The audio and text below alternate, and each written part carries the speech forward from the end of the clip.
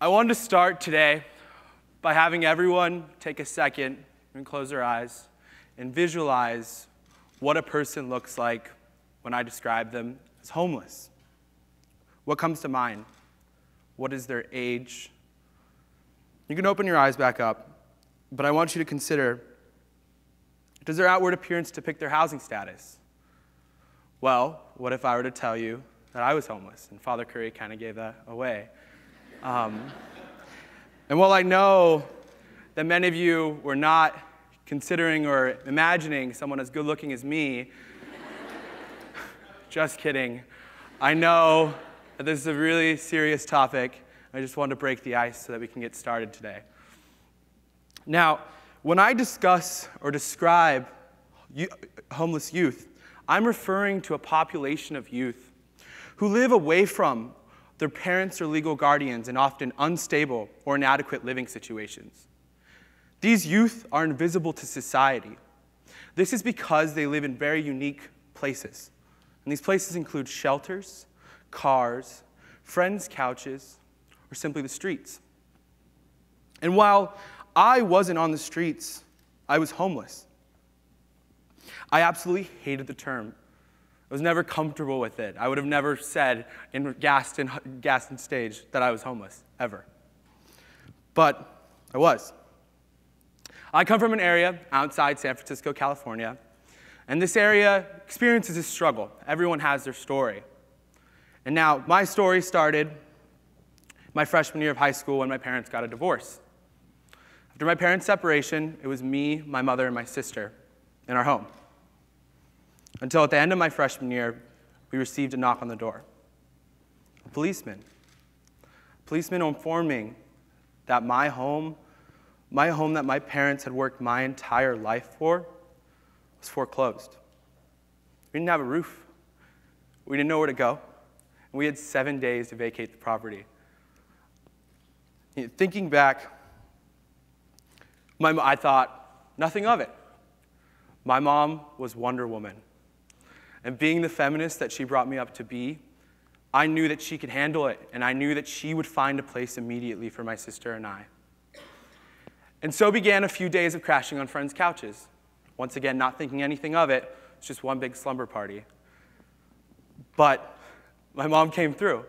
She found a home for us on the other side of the tracks in a rougher part of the neighborhood. She commuted six hours a day to ensure that my sister and I had a roof over our head and food on the table. We were five minutes from our high school, and this was imperative because my mom wanted to ensure that me and my sister would continue our education. So, life continued. Our home was beautiful. I had a roof. It was a good time. It was those teenage adolescent years, you know, like when you're really um, just a teenager. And uh, good time. And, you know, laughs were shared, friends were made, and bills piled up. And it wasn't until my junior year when I attended this program called Boys Nation. And at this program, youth were told to make mock legislation for Congress that really meant a lot to them. And so my naive young self set off on this, this idea of making something, focusing on housing reform. I wanted to focus on housing reform because I wanted there to be some type of security for families who were evicted or had homes foreclosed on them. This trip was life changing. I came to the Capitol. We were hosted in the White House with President Obama, and it was absolutely life changing. I came home to my community reinvigorated to make a, make a difference. I was so excited just to do something. But then something happened to where I couldn't. Those next four weeks were more formidable than that week that I spent in DC doing mock legislation. I came home to another knock on the door another pink note, and another eviction. It was in this moment I saw my mom, the strongest woman I have ever known, the woman who got us back into another home, who commuted six hours a day to work, who loved me, cry. We had no options. We had nowhere to go. And so the boat sank, and our family was surfing taking it wave by wave, day by day and couch by couch. Until there was a significant drop in my academic performance. I went from being at the top of my class to a truant. I never went to school. All that I worried about was trying to survive. I would worry about where I would sleep that night, what I would eat. And it came down to even the basic necessities of finding change to wash mine and my sister's clothes for that week. These were the things that consumed my, senior, my junior year of high school. This is what I thought of. On top of that, when I was at school, I never turned in an assignment. My whole demeanor and outlook on life changed. I had no access to my textbooks or computer, and I wasn't the Jimmy that many of you would know. But my school took action. They've noticed. They noticed Jimmy wasn't doing as well as he could. And so what happened was is they called me into the principal's office where I broke down in tears describing what was happening with my family. They immediately took action. What they did was they ensured, they had one administrator ensure that my sister and I were fed and healthy, one administrator to pay for our doctor's bills, while another community member took my sister in. I was taken in by my best friend's teacher in economics, te- and uh, my best friend's father and economics teacher, Fidel Garcia. I stayed in his home for the next three and a half months. I stayed in a room that was meant for a teenage girl. But I was forever grateful that bed, even though it had pink sheets, was just so comforting. Staying in that home, I was grateful, but still, I was homeless. Because the thing is, is that I sat at that dinner table that didn't include my family. I celebrated my 17th Thanksgiving and 17th birthday homeless and away from my mother and sister. I spent those three and a half months worrying every day how my sister was doing if she was secure, if someone was loving her paying attention to her, if she was making it to basketball practice. I spent those next, those three and a half months worrying about being a burden in someone else's home.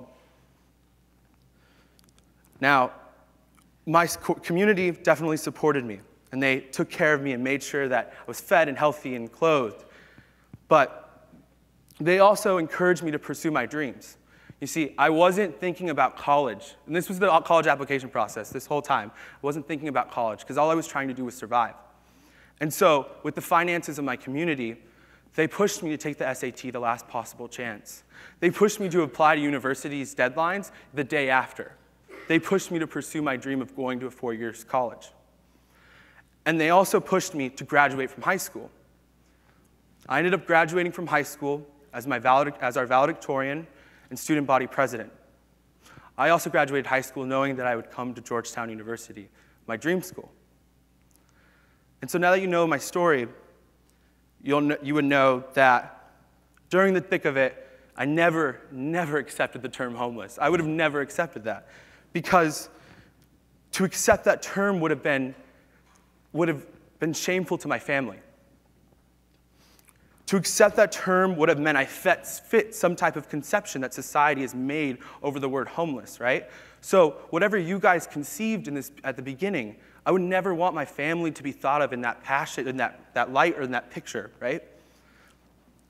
I didn't accept the term because I didn't want to invite pity on me. I didn't want to be a charity case. I didn't want to be known as Jimmy the homeless kid when I was so much more than that. I didn't accept the term homeless because it was shameful to me. And then I realized that it didn't have to be. I came to Georgetown University and I was confronted with this notion of contemplation and action. As most Georgetown students are, I was prompted to look within myself, to reflect on my experience and reflect on who I am. Oh, sorry, Mike. And, and through this reflection, I found that I was putting on a facade by not acknowledging my struggle and by not being outward with who I was, I was missing a huge part of who I was, of who I am. I was masking my shame and I was not being a whole person for others. And then my process continued into my freshman year Justice and Peace Studies course. We did, we researched a number of social justice issues, and one of those issues was homelessness. I found that my story fit the textbook definition. And while I found that my peers were really excited to make a difference and to learn about homelessness, there was a fundamental inability for them to connect to the issue. And so, after much contemplation and thinking about it, I decided to come out with my story and tell them of my housing situation. My peers were better able to connect with the issue. I found that my story was not something to be shameful of, but rather it was a tool, it was a blessing in disguise, and something that allowed me to give a voice to the voiceless. And finally, I was able to come to terms with my shame because of the people that I've surrounded myself with and the people who have loved me and gotten me to this point. My state of homelessness could not be attributed to one factor or person. Similarly, my success and my ability to confront my shame cannot be attributed to one person or institution. I wish I can say that I got up here and that I'm here at Georgetown because of what I did and because of everything that I did. I wish I could say that I pulled myself up by my bootstraps, but that's not the case. I'm here because of my friends who gave me couches to sleep on, my community who fed me and encouraged me to follow my dreams, my sister who's kept a smile on my face since day one, the Georgetown community who's given me a home on the hilltop, and finally, my mother and father who have instilled in with me this idea of living fearlessly, loving fearlessly, and getting up whenever knocked down. And I found that these people and communities never once allowed my homeless status to affect our relationship, right? I found this courage through them to accept my shame. To them, I was never a charity case, but rather I was Jimmy, that chubby, that chubby Mexican kid with the ridiculous smile. They accepted me for me, and they allowed me to confront my shame and own it. No label can define who I was because those people loved me for who I, for who I was. And by owning it, owning this idea of being homeless, owning my shame, I was able to go forth and make a difference. So today, I serve as a consultant for the California Homeless Youth Project. And what we do is we empower youth to own this label. We empower them to go forward and share their stories with policymakers and speak candidly about this issue that a lot of people don't think exists. And what we've found is that by having our state confront its own shame, we found that they're now willing to make a change and make a difference. And so, from these stories and from these experiences that these youth have shared, we have found, we have developed this state plan that encompasses all their stories. And this state plan is the nation's first ever state plan to end youth homelessness. And what it has done is generated eight different laws, eight different bills that have gone through the state legislature. It's gone through the state legislature with bipart- unanimous bipartisan support. Six of these laws have been signed into law by Governor Jerry Brown. While we all have some type of label society puts on us, it is important for us to own it. These labels can often be shameful, and our fear to own them can stem from the idea of it allowing it to define us. But I found that the second we attempt to mask this shame or allow the label to define who we are, we lose ourselves and the ability to generate change in the process. I'm not telling you to go forward and introduce yourself with your deepest, darkest secret and your deepest shame. What I am telling you is that there's something incredibly beautiful and innately powerful about owning whatever society tells you or tells you is wrong about you.